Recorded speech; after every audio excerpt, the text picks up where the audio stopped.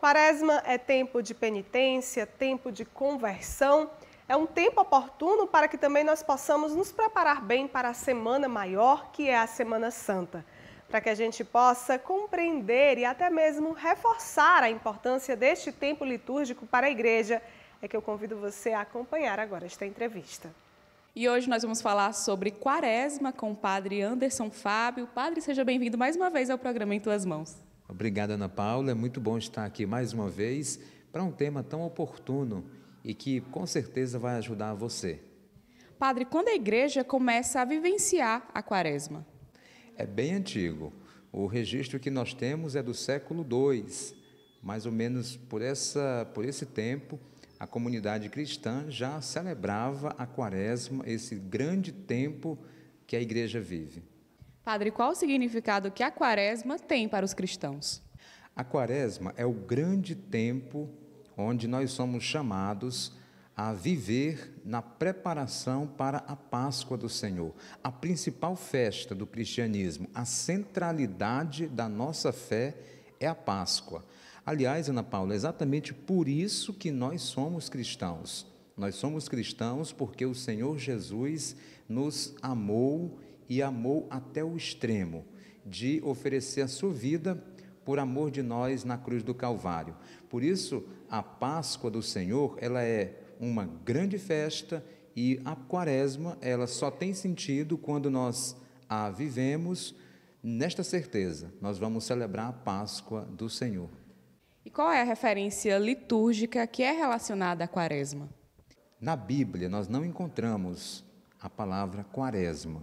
Mas na Bíblia nós encontramos, por exemplo, várias referências importantes para a numeração 40. Por exemplo, no Antigo Testamento, 40 anos o povo de Israel procurou e caminhou a fim de ser liberto da escravidão.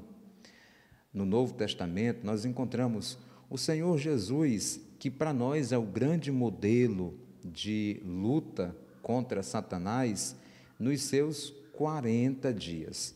Os evangelhos relatam claramente para nós o chamado tempo do deserto, tempo do silêncio, o grande silêncio onde Jesus fora tentado por Satanás por 40 dias.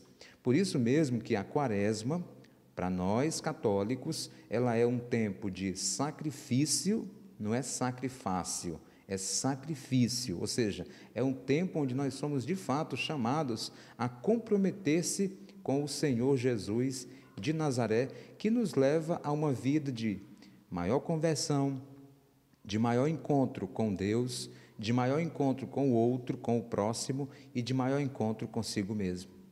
Padre, de que forma a tentação de Jesus no deserto se reflete nos dias atuais? O mais interessante, Ana Paula, é perceber que no deserto o diabo tentou a relação filial de Jesus com o seu pai, com o pai. Quando nós observamos a escritura, nós sempre percebemos que Jesus ele procurava sempre, em todos os momentos, ter uma intimidade com o Pai. Por isso mesmo nós podemos dizer que a tentação ela, quando acontece na nossa vida de cristão, sempre o diabo nos tenta nessa relação com o Pai, com o Senhor nosso Deus. Por isso que é tão importante que, olhando para Jesus, que no deserto vence o diabo, nós também possamos nos revestir desta certeza. Também nós temos a força e o poder dado por Deus para lutar contra o diabo. Aliás, pelo batismo, nós recebemos o Espírito Santo de Deus. Por isso que nesse período de 40 dias, que é o período da quaresma, nós então somos convidados a nos configurar a Cristo, a fim de que, na Páscoa, de maneira especial, na grande vigília pascal, ao acender a vela pelo batismo, cada um de nós possamos renunciar a Satanás e confirmando assim a nossa relação de entrega ao Senhor nosso Deus.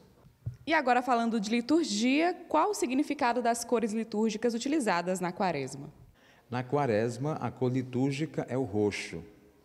com a exceção do quarto domingo da quaresma. É aquele domingo onde nós já estamos nos aproximando da Páscoa, chamado Domingo da Alegria, Domingo Letere. É o domingo onde, opcionalmente, o padre ou o diácono pode usar o róseo, mas é uma cor opcional, para dizer que nós estamos nos aproximando da Páscoa, o tempo da alegria, o tempo da libertação, o tempo em que nós celebramos a Páscoa do Senhor na nossa vida. Padre, quando a quaresma de fato finaliza? Ela finaliza no domingo de Ramos ou na quarta-feira da Semana Santa? Começou na quarta-feira de cinzas, com a imposição das cinzas, dia em que nós católicos celebramos dia de jejum, penitência e abstinência de carne, e segue até a quinta-feira da Semana Santa, onde na quinta-feira da Semana Santa nós iniciamos o sagrado Tríduo Pascal, onde nós vamos ali celebrar a Páscoa do Senhor. Aquele dia, na quinta-feira santa, nós celebramos a Santa Ceia do Senhor, também missa conhecida como lava-pés, instituição do sacerdócio ministerial e do mandamento novo.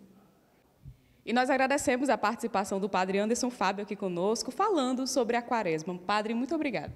Eu é que agradeço, Ana Paula, e desejo a você um bom caminho quaresmal e uma excelente Páscoa, na certeza de que todas as coisas se renovam em Cristo. Ele experimentou a nossa condição, Hebreus 4,15, para nos dar a força necessária para lutarmos e sermos vencedores. Isso é o mais importante. Que a Páscoa de 2020 nos prepare para o dia da verdadeira e eterna Páscoa que todos nós um dia experimentaremos.